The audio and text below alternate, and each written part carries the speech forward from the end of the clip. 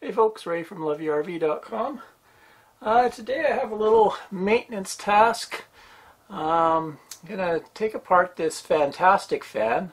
I've had it a few years now and really like it for uh, ventilation and cooling, especially when we're uh, boondocking. And it's going to be getting warmer as the year goes on now, so it's a time to, uh, to clean it up. Also, I've had a problem with it where it's making sort of annoying squeak. Can demo it here. There, you can hear it there. Yeah, sometimes even when it's not on and the wind blows through, it'll do that. That drives me crazy, so I think there must be a bearing in there that needs a little bit of lubrication, so I'm going to take her apart and see what we can find. Okay, well I think the best thing to do is take everything right apart so then I can really really give it a good cleaning. It looks like there's quite a bit of dust buildup in it. So I took six screws out, four from the backing plate here on the hinge and then two more from the the bracket that that holds it when the lid pops up and down. That got me the lid off so then I can get at things. It looks like there's four screws. I should be able to uh, pop those off. Then I'll be able to pull the motor right out of there. Uh, there's a looks like a grounding nut here. I'll probably have to clip this wire, I think. I don't the one. Yeah, that'll be easy. It's just clip it, and I can put a butt connector. Okay, let's go. So I clipped the red wire, and then the white wire is also the the switch that turns off the fan when you close the lid. So it had to be unscrewed from that hole and then there's a actually a connection that can unplug. So now I should be able to lift this off. Save that. Oh, one more screw here.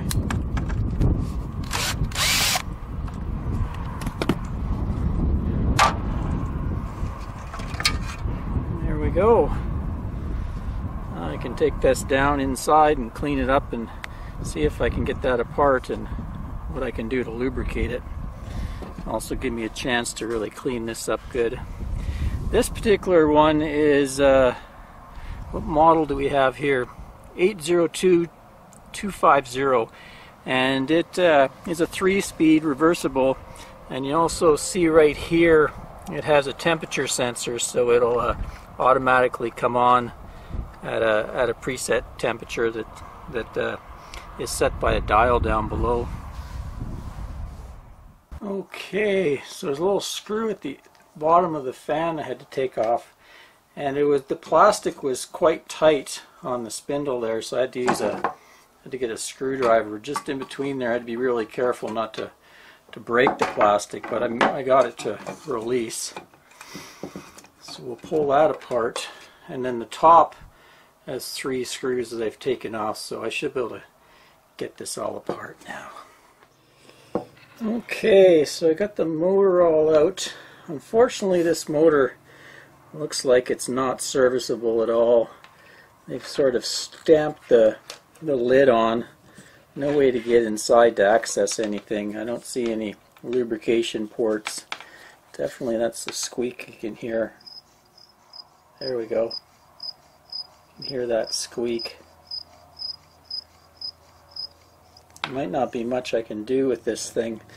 I'm sure you can order these and replace them, but I think what I'm going to try to do is try to get some uh, silicone down in there. May or may not be able to get in there. It may or may not cause problems, but I think that's what I'm going to do.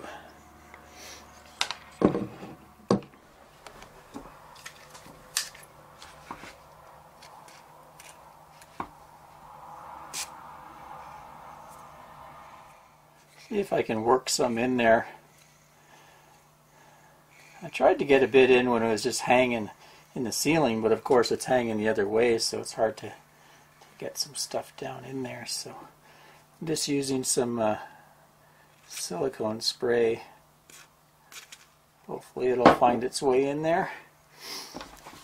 And hopefully it won't actually hurt the bearing. There's some kinds of sealed bearings that if you try to lubricate them, you can actually ruin them. So, But at this point, that squeak is driving me nuts. So I'm going to take a chance. If it does screw it up, it'll be new motor time.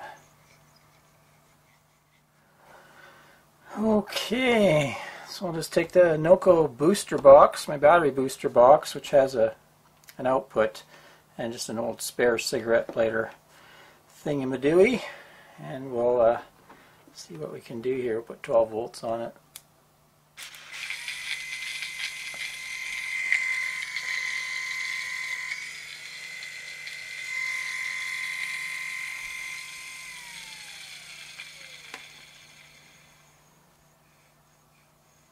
Well, I've lubed that as well as I can and then I've cleaned up all my uh, pieces so now I'm gonna go reassemble everything.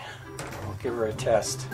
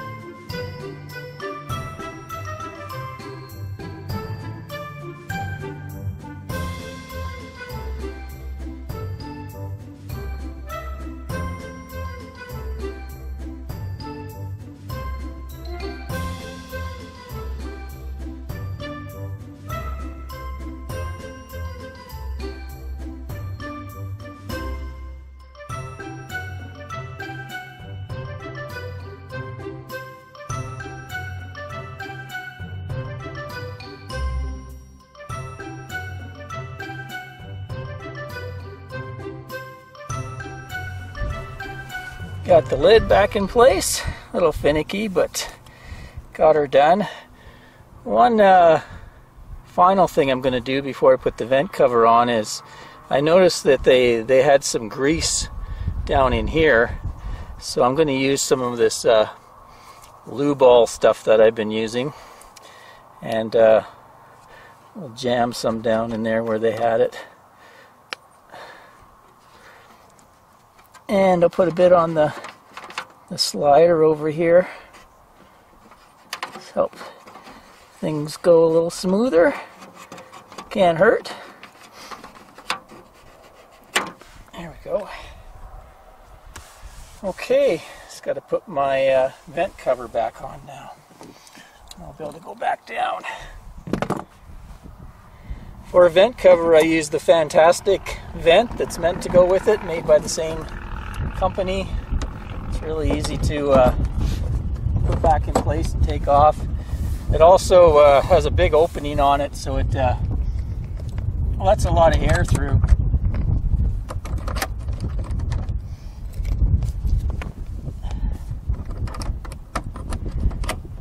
This takes these uh, clips.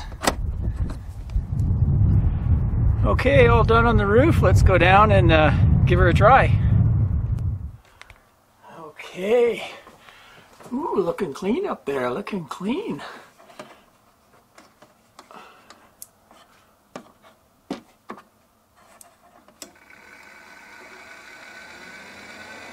we go. Oh, crank up the speed. That's one nice thing about these fans. You can really get them going. Suck a lot of air. And they don't take too much power either. That's why they're really good for uh, boondocking. I can feel a breeze going up. Try the reverse. We're off.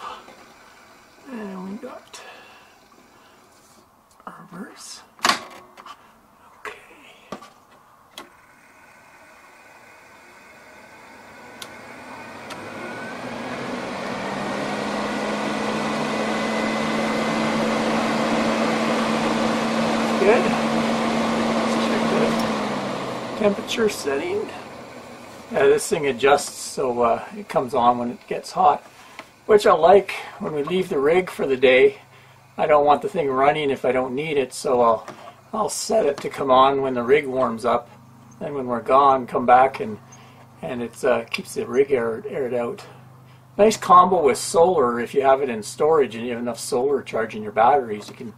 One year I left this thing so it would come on and had no mildew smells or anything when I came back because the thing would evacuate the, the, the hot air during the day.